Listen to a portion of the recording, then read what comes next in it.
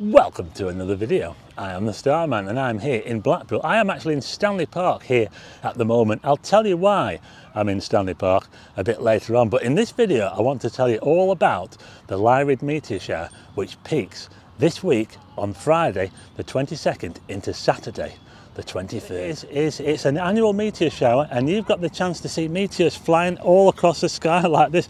Have you ever seen a shooting star? You know, like a really bright flash across the sky that streaks across the sky like that? Well, it's not actually a star because stars don't move like that. It was probably a speck of dust, a tiny speck of dust, or maybe like a little grain of sand or something like that, cosmic sand out there in the solar system. As the Earth goes around the sun like this, it passes inside dust trails of old comets and asteroids and things like that. And what the Lyrid meteor shower is, it, the Earth is moving into the tail of a, an old comet which left a tail thousands of years ago. And that means that we've got a great chance of passing into this dust trail and seeing some of that dust enter the Earth's atmosphere. And as it does, it makes a a really bright streak across the sky and that's what we call a meteor. And a lot of people probably call them shooting stars. And you might have even seen them. You might have just seen a random one. Okay check out this picture that i took of a lyrid this is going back a few years now but we're looking straight towards the radiant here. Can you see that? We've got a nice bright lyrid meteor. I took this about half an hour away from blackpool out in the forest of Bowland and this goes to show you that if you can get out into the countryside or somewhere dark you've got a better chance of seeing them and photographing them and check out this as well I've also got a video of that very same meteor three pictures of the meteor itself and the vapor trail it left behind it. Absolutely amazing. Just look at this video here. Can you see?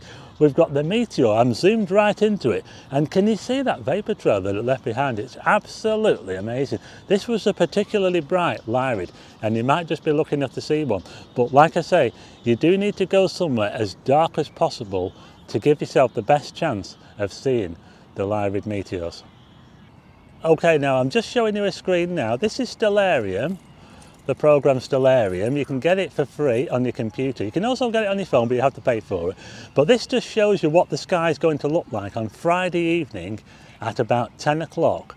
Now you see down there in the right hand side I've got 10 o'clock there and you can see the stars. We're looking towards the eastern part of the sky and the northeastern part of the sky and that's where the radiant of these meteors is.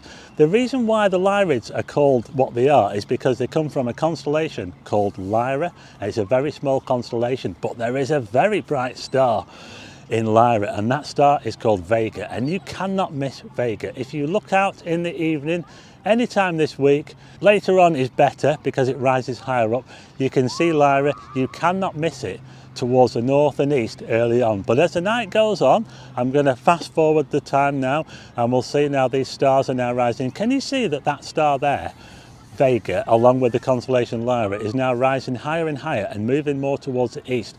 This is where the Lyrid meteors emanate from in the sky. And if you see any streak across the sky during the night, the likely thing is it will trace back to that radiant. Okay, so let's say that you're looking towards the radiant Lyra, which is where these meteors come from in the sky. You can see them anywhere in the sky. It doesn't matter which direction you look.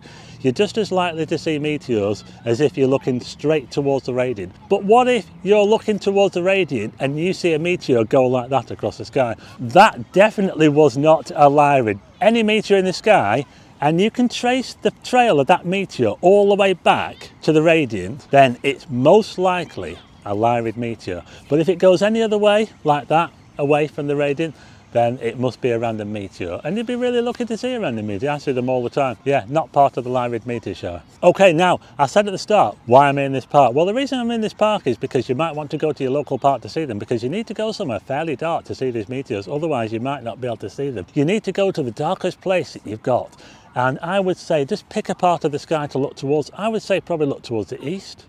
You can even look towards the north. I would probably say not look straight towards the radiant because the reason is if you're looking straight towards the radiant, you're looking into the meteor shower. I don't think it really matters so much which way you look. You might find that if you look in the complete opposite way to the radiant, that you see longer trails. So you're just as likely to see meteors whichever way you look. But you do need to find somewhere very dark, as dark as possible. And that's why I've come to this park here because it's a nice big park here in Blackpool and the sky would be reasonably dark here at night and we'd have a better chance of seeing some of these Lyrid meteors. Okay, now the rate of these meteors is around about 20 per hour, but that's in perfect conditions and if you can see the whole sky and the radiant is right above your head. We will never have those conditions, okay? So take it from me, if you go out on Friday night preferably into the morning of Saturday, and you look at one part of the sky, say about a quarter of the sky, for about an hour or two hours, I expect you will see a few meteors. That's what I would do.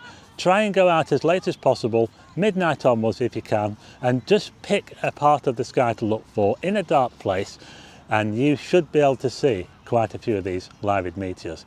Anyway, now that I've told you how to see them, it's now time to show you how to photograph them.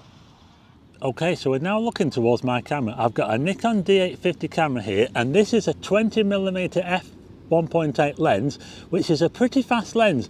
In fact, if you want to capture meteors, you need to use the fastest lens that you can get, something like f2.8 or quicker if you can if you've got them and I've also got this uh, can you see this like a, it's a remote thing that you just press and takes a picture there that's what you need if you've got something similar to this a DSLR you're good to go to try and photograph Lyrid meteors. I just want to show you some good settings that you can use to try and capture them.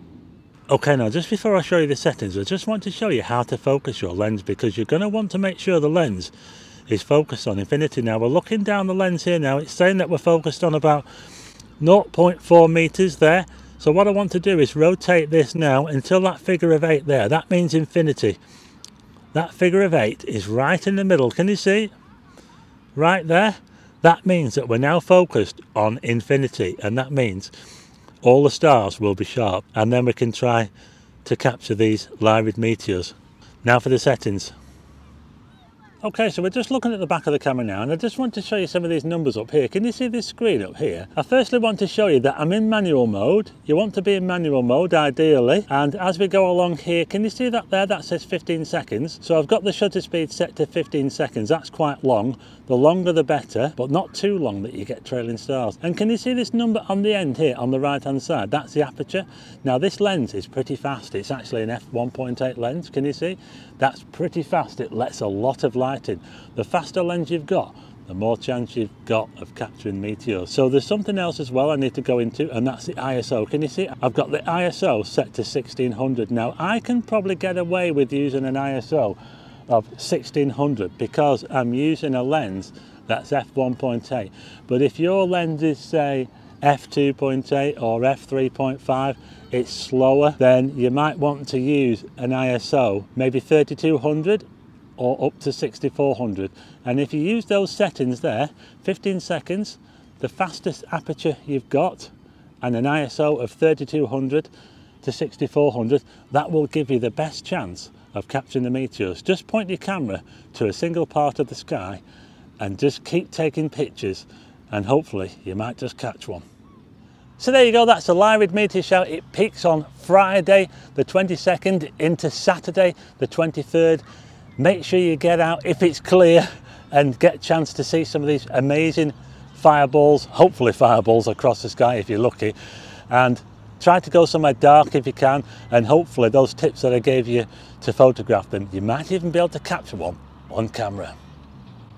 Anyway I hope you like this video. If you do hit the like button and also hit subscribe and tick the bell for notifications of new videos. And I will see you again on the next one